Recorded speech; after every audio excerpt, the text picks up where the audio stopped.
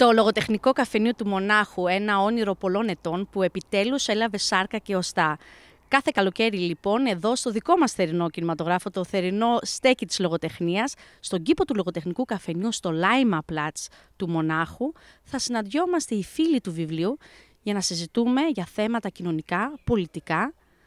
Ξεκινάμε πολύ δυναμικά στις 28 του Μάη με την Άλκη Ζέη, την πρέσβυρα της ε, παιδικής λογοτεχνίας στο εξωτερικό. Είμαστε πολύ χαρούμενοι στις 28 του Μάη και προσκεκλημένοι είναι όλοι όσοι θέλουν να γίνουν μέτοχοι αυτής της χαράς. Σας περιμένουμε.